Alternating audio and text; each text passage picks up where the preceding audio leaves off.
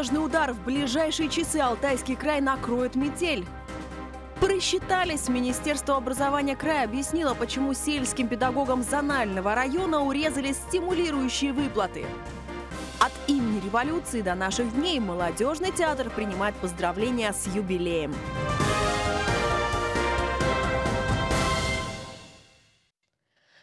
Наши новости начинают свою работу в эфире в студии Елена Кузовкина. Здравствуйте.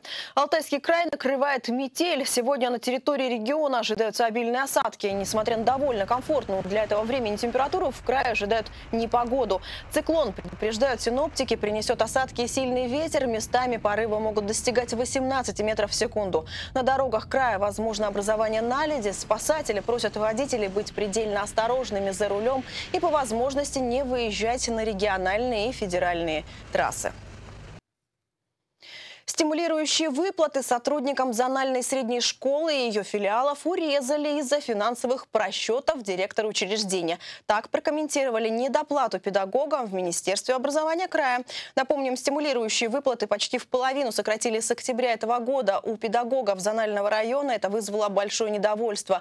По мнению профильных чиновников от образования края, средства зарплатного фонда были перерасходованы по вине администрации школы. В итоге, чтобы остаться в пределах пределах бюджета к концу года пришлось сократить выплаты. При этом общий объем средств, запланированных на 2018 год, заверили в Минобре, до педагогов доведут в полном объеме. На самом деле должно быть э, организовано финансовое планирование, должно быть помесячно распределен весь фонд заработной платы. И когда в первый месяц руководитель образовательной организации выплачивает заработную плату, он уже должен видеть, как будет развиваться динамика расходования фонда в последующие месяцы до конца года. И в этот отведенный фонд заработной платы войти. Сейчас Комитет по финансам администрации района проводит проверку, которая должна установить все детали данного инцидента. Возможно, вскоре люди смогут передавать беспроводное электричество на большее расстояние. По крайней мере, такой целью задался алтайский школьник. Свой проект он, как и сотня других молодых исследователей со всей Сибири, защищает на форуме ученых. Он стартовал в техническом вузе края. Какие перспективы открывают интеллектуальные соревнования для юных победителей, знает Илья Кочетков. Денис Однораленко из Романовского района бесстрашно играет с электрическими разрядами. Он сделал эти приборы, известные как катушка Тесла, своими руками и знает, они безопасны. Более того, когда-нибудь с помощью этих разработок десятиклассник планирует передавать на расстояние электрическую энергию. Думаю, вы со мной согласитесь, если вы зайдете в дом, и вам не придется искать зарядку для телефона, розетку, куда эту зарядку вставлять. А вы свободно заходите, телефон заряжается. Точно такая же э, процедура происходит и в автомобиле. Вы сели в автомобиль, у вас телефон начал самопроизвольно заряжаться. А вот проект скорее не технический, а социальный. Группа молодых людей не только занимается ювелирным делом, но и разработала целую программу знакомства школьников с этим красивым ремеслом. Юные исследователи уверяют, аналогов такой программе нет во всей всей Сибири. Это мастер-классы плавления серебра, чеканки, рассказываем про металлы, про свойства. Мы ездим в детские дома, также к детям с ограниченными возможностями. И это делаем мы абсолютно безвозмездно.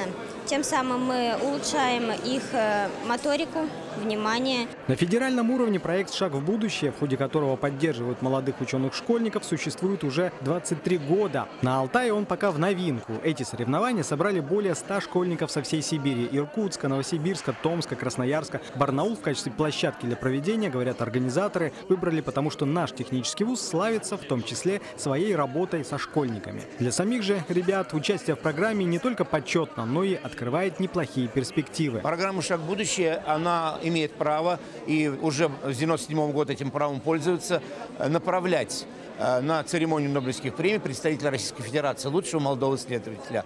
Он не только участвует в Нобелевских торжествах, в числе 25 блестящих студентов со всего мира, но и выступает с докладом перед Нобелевскими лауреатами. В течение трех ближайших дней ребята смогут поучаствовать в научных семинарах и мастер-классах. Компетентное жюри выберет лучшие исследовательские работы. Победители рекомендуют на Всероссийский форум научной молодежи «Шаг в будущее», который пройдет в Москве весной следующего года. Илья Кочетков, Александр Антропов. Наши новости. Поздравления с 60-летним юбилеем сегодня принимает молодежный театр Алтая. Именно в этот день, в 1958 году, артисты труппы сыграли на сцене первый свой спектакль именем «Революции». Долгое время здание театра скорее напоминало афишу из рекламных щитов. Лишь 7 лет назад МТА обрел вторую жизнь после реконструкции. На обновленной сцене артисты сыграли «Бумбараша». Сейчас молодежный носит имя известного земляка Валерия Золотухина. Там же раз в два года проходит фестиваль в его честь день юбилея запланирована обширная праздничная программа. Так будут вручены награды сотрудникам, откроют около десятка площадок различной тематики, где гости смогут примерить головные уборы героев любимых спектаклей. Кстати, громкая премьера спектакля по роману Татьяны Толстой «Кысь» пройдет сегодня. Билеты на нее были раскуплены едва ли не за полгода.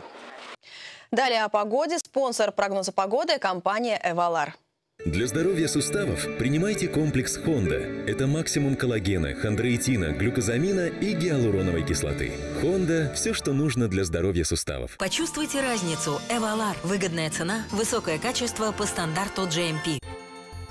В крае переменная облачность, местами снег, минус 6 в Камне на Оби и Славграде, в Барнауле до минус 2 возможен снег и юго-западный умеренный ветер. Напоминаю, телефон редакции в Барнауле 722 440. Ну а полная картина дня в нашем вечернем выпуске. До встречи.